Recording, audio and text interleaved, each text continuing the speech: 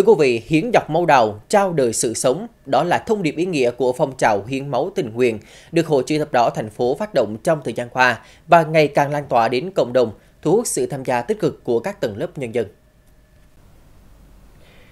Vừa qua, Hội chữ thập đỏ quận Sơn Trà đã vận động được gần 400 cán bộ, công nhân viên chức, lực lượng vũ trang, đoàn viên thanh niên và nhân dân hiện đang công tác và sinh sống trên địa bàn đăng ký tham gia Ngày hội hiến máu năm 2023. Mỗi người có độ tuổi, sức khỏe khác nhau nhưng đều mang trong mình một tâm niệm cho đi là còn mãi.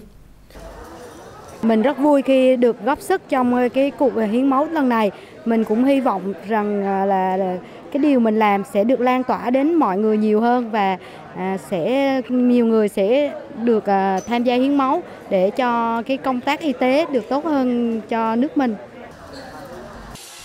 Tại thành phố Đà Nẵng, hoạt động tôn vinh người hiến máu được tổ chức bằng nhiều hình thức thiết thực. Nhiều hoạt động tuyên truyền có tính lan tỏa, tác động tích cực đến phong trào đã được tổ chức như lễ hội Xuân Hồng, những giọt máu hồng hè, hành trình đỏ, vân vân. Nhiều mô hình hiến máu hiệu quả tại các địa phương như gia đình hiến máu, ngân hàng máu sống, câu lạc bộ nhóm máu hiếm vân vân đã được xây dựng và hoạt động đạt kết quả cao.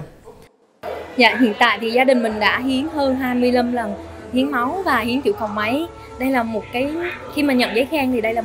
một cái niềm vinh dự đối với gia đình. Cả gia đình đều có một mục tiêu chung, đó là giọt máu của mình cho đi thì nhận lại niềm vui và sự sống của nhiều người khác. Và khi mà hiến máu thì cảm xúc của mỗi người khác nhau. Đa phần là vui và hạnh phúc vì giọt máu của mình giúp ích cho xã hội trong năm nay, Ban chỉ đạo vận động hiến máu thành phố đã phối hợp với các đơn vị thành viên đã vận động và tiếp nhận gần 30.000 đơn vị máu. Với nhu cầu về số lượng, chất lượng máu chữa bệnh ngày càng cao, Hội chữ thập đỏ các cấp tiếp tục đẩy mạnh hơn nữa công tác tuyên truyền, vận động, tổ chức an toàn, hiệu quả các chương trình hiến máu tình nguyện, đảm bảo thực hiện tốt chế độ hỗ trợ cho người hiến máu để khuyến khích các tình nguyện viên tích cực hiến máu cứu người.